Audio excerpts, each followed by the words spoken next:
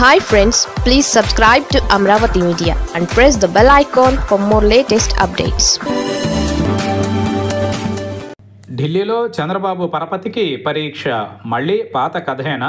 చంద్రబాబు నలభై ఏళ్ళ రాజకీయ అనుభవం అనే సంగతి కాసేపు పక్కన పెడితే కేంద్రంలో చక్రాలు గట్రా తిప్పానని చెప్పుకున్న సంగతి కూడా కాసేపు పక్కన పెడితే అవేమీ అవసరం లేకుండానే ప్రస్తుతం కేంద్ర ప్రభుత్వం చంద్రబాబు నితీష్ కుమార్ల భుజాలపై ఆధారపడి ఉంది.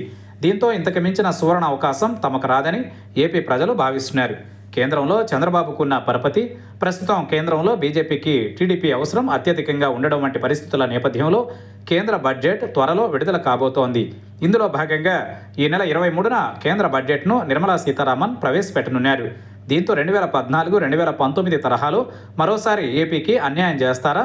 లేక ఈసారి ఖచ్చితంగా సాయపడతారా అన్నది ఆసక్తిగా మారింది. రాష్ట్ర విభజన అనంతరం రెండు వేల పద్నాలుగులో టీడీపీ బీజేపీ కలిసి ఏపీలో అధికారంలోకి వచ్చాయి. డబుల్ ఇంజన్ సర్కార్లో ఏపీ అభివృద్ధిలో పరుగులు మామూలుగా ఉండవంటూ అటు చంద్రబాబు ఇటు మోడీ కబుర్లు చెప్పుకొచ్చారు. ఆ కబుర్లు ఏపీ ప్రజలు నమ్మారు. కేంద్రంలో బీజేపీలో టీడీపీ మంత్రులు కూడా ఉండేవారు. అయినా సరే కేంద్ర బడ్జెట్ ప్రతిసారి దారుణంగా నిరాశపరిచేది. కవరింగ్ ఇచ్చుకోలేక టీడీపీ పెద్దలు నానా తంటాలు పడేవారు. రెండు వేల పద్దెనిమిది తరువాత కేంద్రం నుంచి ఏ రకమైన సాయం అందలేదని చంద్రబాబు చెప్పుకొచ్చారు. తన చేతకాని తనాన్ని ఒప్పుకోకనే ఒప్పుకున్నారు. తాను ఏకంగా ఇరవై తొమ్మిది సార్లు ఢిల్లీ చుట్టూ తిరిగినా ఏమీ ప్రయోజనం లేదని చెప్పుకున్న పరిస్థితి. విభజన వల్ల దారుణంగా దెబ్బతిన్న ఏపీని ఆదుకోవడానికే పొత్తులు పెట్టుకున్నామని అయినా సరే ఏపీకి ఎలాంటి సహకారం దక్కలేదని విమర్శించారు. ఇప్పుడు మరోసారి టీడీపీ బీజేపీ జతకట్టాయి కేంద్రంలో బీజేపీకి మెజారిటీ రాకపోవడంతో చంద్రబాబు కీ రోల్ పోషించారు. ఈ సమయంలో తొలి బడ్జెట్ ఇరవై మూడున ప్రవేశపెట్టబోతున్నారు. దీంతో చంద్రబాబుపై ఆధారపడి నడుస్తున్న కేంద్ర ప్రభుత్వం ప్రవేశపెట్టబోతోన్న తొలి బడ్జెట్లో ఏపీకి మ్యాక్సిమం సహకారం అందుతుందని అంతా భావిస్తున్నారు. ఈలోపు చంద్రబాబు సన్నాయి నొక్కులు నొక్కారు. తాజాగా టీడీపీ ఎంపీలతో నిర్వహించిన సమావేశంలో చంద్రబాబు చావు కబురు చల్లగా చెప్పారు.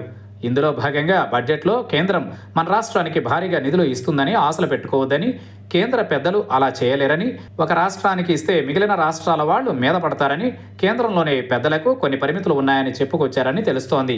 పైగా ఏ పథకం కింద డబ్బులు అడిగినా వైసీపీ ప్రభుత్వ హయాంలో ఇచ్చిన నిధుల ఖర్చు వివరాలను కేంద్రం అడుగుతుందని చెబుతున్నారు చంద్రబాబు. వైసీపీ ప్రభుత్వం ఇష్టానుసారంగా నిధుల్ని దారి మళ్ళించిందని అందువల్ల పథకాలకు కొత్తగా నిధులు వచ్చే అవకాశం లేకుండా పోయిందని అంటున్నారట. దీంతో ఈ విషయంలోనూ వైసీపీపై బురద జల్లే ప్రయత్నంలో భాగంగా తన చేతకానితనాన్ని చంద్రబాబు చెప్పకనే చెప్పారని ఒప్పుకోకనే ఒప్పుకున్నారనే కామెంట్లు వినిపిస్తున్నాయి. దీంతో ఏపీ ప్రజానీకం టీడీపీకి కేంద్ర ప్రభుత్వాన్ని నిలబెట్టే స్థాయి బలం ఇచ్చాక కూడా ఇంకా గత ప్రభుత్వంపై విమర్శలు చేసుకుంటూ చంద్రబాబు కాలం వెళ్ళదీయాలని భావిస్తున్నారని ఇంతకు మించిన చేతకానితనం మరొకటి ఉండదని ఈ దెబ్బతో కేంద్రంలో చంద్రబాబు పరపతి అంతా డ్రామా అని ప్రజలు భావించే అవకాశం ఉందని అంటున్నారు పరిశీలకులు. మరి ఇలాంటి విమర్శలకు చెక్ పెడుతూ బడ్జెట్లో ఏపీకి అద్భుతమైన సహకారం లభించేలా చంద్రబాబు పావులు కదుపుతారా? లేక ఇలానే తనది చేతకానితనమని ఒప్పుకోకనే ఒప్పుకుంటూ గత ప్రభుత్వంపై విమర్శలు చేసుకుంటూ కాలం వెళ్ళదీస్తారనేది వేచి చూడాలి.